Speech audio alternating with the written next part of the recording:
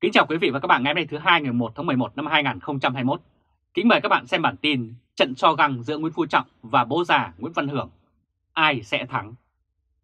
Nếu không có gì thay đổi thì vào ngày 5 tháng 11 năm 2021, Tòa án thành phố Hà Nội sẽ mở phiên sơ thẩm xét xử Đại tá Nguyễn Duy Linh, cựu thường vụ Đảng ủy, Phó Tổng cục trưởng Tổng cục Tình báo Việt Nam, Cục trưởng Cục B05 Bộ Công an về tội nhận hối lộ và của Phan Anh Vũ, đức Vũ Nhôm và tội đưa hối lộ cùng Hồ Hữu Hòa tức Hòa Thầy Bói về tội môi giới hối lộ.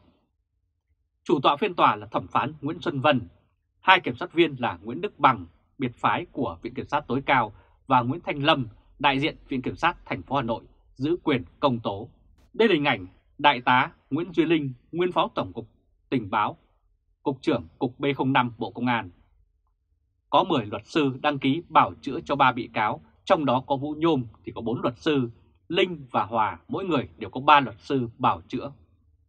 Tòa cũng triệu tập 4 nhân chứng là người có quyền lợi, nghĩa vụ liên quan bao gồm Nguyễn Đăng Luân, sinh năm 1966, tài xế riêng của Vũ Nhôm. Theo báo chí đưa tin, Luân là người trực tiếp chuyển thùng quà bằng xốp dán kín, chứa hàng triệu Mỹ Kim trong đó để chuyển cho Nguyễn dư Linh.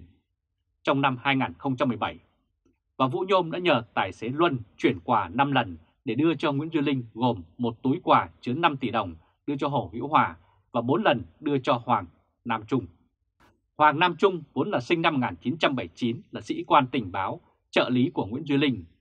Cũng theo báo chí, trong thời gian trực tiếp giúp việc cho Linh, Trung đã 4 lần liên lạc với Nguyễn Đăng Luân, tức là lái xe của Phan Văn Vũ, để nhận các túi quà, hộp quà, thùng quà mang về cho Linh.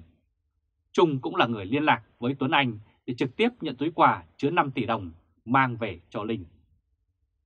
Nguyễn Tuấn Anh sinh năm 1975 là sĩ quan tình báo cấp dưới của Nguyễn Duy Linh và là người trực tiếp nhận tiền và quà từ Hồ Hữu Hòa để đưa lại cho Hoàng Nam Trung đem về cho Nguyễn Duy Linh. Bùi Thế Sự sinh năm 1984, sĩ quan tình báo, tài xế riêng của Nguyễn Duy Linh là người nhận các thùng quà từ Hoàng Nam Trung tại nhà riêng của Trung ở phố Hoàng Sâm, quận Cầu Giấy, Hà Nội, mang về để lại tầng 2 khu biệt thự quận Tây Hồ, Hà Nội, nơi ở của tướng Nguyễn Văn Hưởng và con trai Nguyễn Duy Linh. Theo báo chí đưa tin, Vũ Nhôm đã khai rằng Vũ đã chuyển cho Nguyễn Duy Linh tiền đồng Việt Nam và các thùng quà chứa đô la Mỹ cùng các tặng phẩm khác theo miêu tả như sau.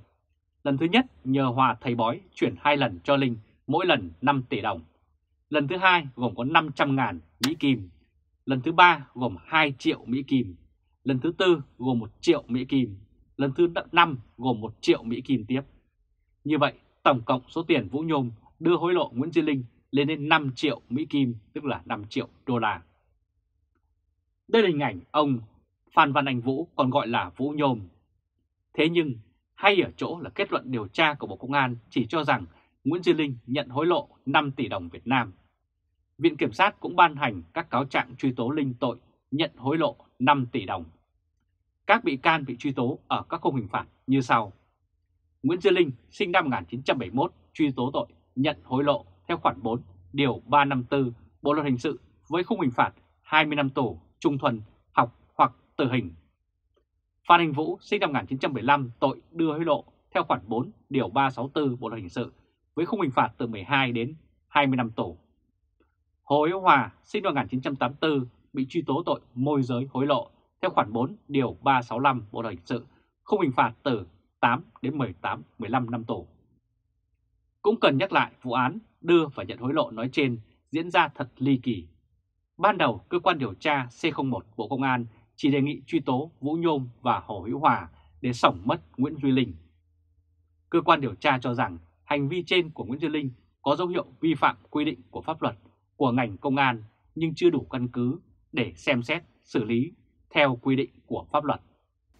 Cũng như lấy lý do thời hiệu điều tra đã hết để giúp cho Nguyễn Duy Linh thoát khỏi vòng tố tụng, chỉ xử hành chính mà thôi. Tuy nhiên, phe đốt lò đời nào chấp nhận, vì vậy, vụ năm Viện Kiểm sát tối cao đã hai lần trả hồ sơ yêu cầu điều tra lại, quyết không để lọt lưới con cá mập. Phải bắt cho kỳ được Nguyễn Duy Linh. Và cuộc giải cứu đã bất thành, câu hỏi cũng đặt ra. Có thông tin cho rằng một số quan chức cấp cao là Thứ trưởng của Bộ Công an như Lê Quý Vương, Thủ trưởng Cơ quan Cảnh sát điều tra Bộ Công an và Bùi Văn Nam, Thủ trưởng Cơ quan An ninh điều tra vì nặng nợ với bố già Nguyễn Văn Hưởng nên đã ra tay giải cứu con trai ông ta là Nguyễn Duy Linh.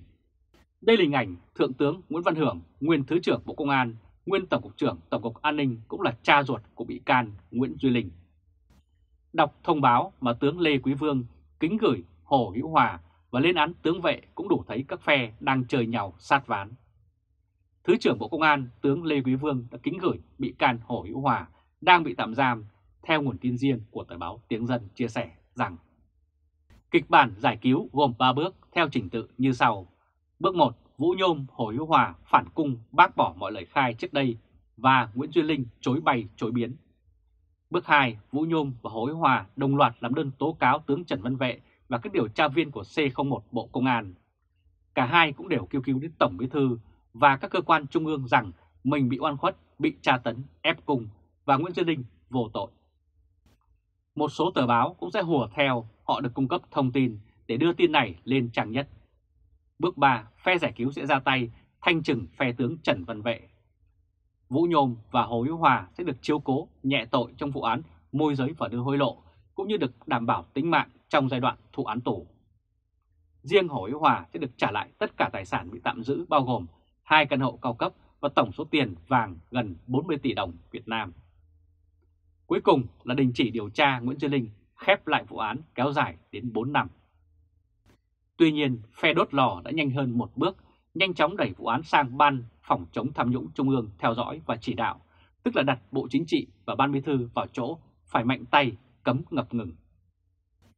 Đây là hình ảnh ông Tổng Bí thư Nguyễn Phú Trọng. Dù giải cứu không thành công, Nguyễn Du Linh bị bắt giam truy tố, nhưng phe bố già Nguyễn Văn Hưởng vẫn vớt vát được phần nào. Đó là chỉ khoanh lại con số nhận hối lộ ở mức 5 tỷ đồng, số tiền thu Nhôm nhờ Hồ Hữu Hòa cầm chuyển lần đầu tiên mà thôi. Mặc dù khung hình phạt thấp nhất của tội danh này là 20 năm tù giam, nhưng theo có nguồn tin riêng, phe bố già Nguyễn Văn Hưởng đang ép Lê Minh Trí, Viện trưởng Viện Kiểm sát Nhân dân tối cao và Nguyễn Hòa Bình, tức là cả hai đều xuất thân từ ngành công an, dàn xếp, đề nghị mức án và tuyên án khoảng 12 năm tù giam.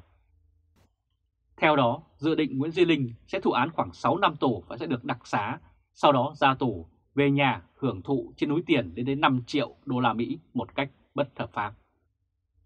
So với cựu Bộ trưởng Nguyễn Bắc Son, nhận của anh em nhà Phạm Nhật Vượng trong vụ AVG nuốt không trồi phải nơ ra nhưng vẫn phải nhận án trung thân vì phi vụ nhận hối lộ này, thì bố con nhà tướng Hưởng đã lãi to. Đây là hình ảnh ông Nguyễn Bắc Son, nguyên ủy viên Trung ương Đảng, nguyên Bộ trưởng Bộ Thông tin và Truyền thông. Xem ra, Ngài Đại tá Son, cho dù từng là thư ký riêng của Chủ tịch nước, Bí thư tỉnh ủy Thái Nguyên, Phó ban tuyên giáo Trung ương Đảng, Bộ trưởng Bộ Thông tin và Truyền thông, nhưng đã thấp mưu hơn một tên nhãi danh sinh năm 1975 như Nguyễn Duy Linh rất nhiều. Mặc dù đã được cho là bị ràng buộc bởi thỏa hiệp cam kết không đụng đến gia tộc 3X từ trước đại hội 12, nhưng những đồ đệ của phe 3X vẫn luôn là cái gai phải nhổ đối với phe đốt lò và cá nhân ông Nguyễn Phú Trọng. Hơn nữa, ân oán giang hồ giữa chùm mật vụ khét tiếng một thời bố già Nguyễn Văn Hưởng với cụ Tổng là điều khó dung thứ. Tuy nhiên, đàn em của tướng Hưởng hiện nay đang nắm trọng trách tại Bộ Công an và cơ quan hành pháp là không ít. Dù đã đặt dấu chấm hết mọi thăng tiến, loại bỏ được cái tên Nguyễn Duy Linh ra khỏi quy hoạch Thứ trưởng Bộ Công an, nhưng việc phe đốt lò muốn dồn Nguyễn Duy Linh đến chỗ chết là việc không dễ chút nào. Nếu này mai phiên tòa xét xử Nguyễn Duy Linh có cái kết đúng như Giang Hồ Hà Nội đã đồn đoán rằng Nguyễn Duy Linh lãnh án 12 năm tù giam và buộc nộp lại số tiền 5 tỷ đồng, thì trong trận so găng lần này với bố già Nguyễn Văn Hưởng, xem như bác cả vẫn tiếp tục thua trắng bụng. Quý vị và các bạn vừa theo dõi chương trình truyền hình trực tiếp của Lê Trung Khoa, Thời báo chấm ngày hôm nay thứ hai ngày 1 tháng 11 năm 2021 với bản tin Trận so găng giữa Nguyễn Phú Trọng và bố già Nguyễn Văn Hưởng, ai sẽ thắng? Quý vị và các bạn hãy chia sẻ video này cho nhiều người biết và bấm nút theo dõi YouTube và Facebook của Thời báo d để luôn được cập nhật những bản tin mới nhất, nhanh nhất và trung thực nhất. Từ Berlin, Cộng hòa Liên bang Đức, chào các bạn và hẹn gặp lại các bạn vào bản tin lần tới. Trung Khoa, Thời báo, d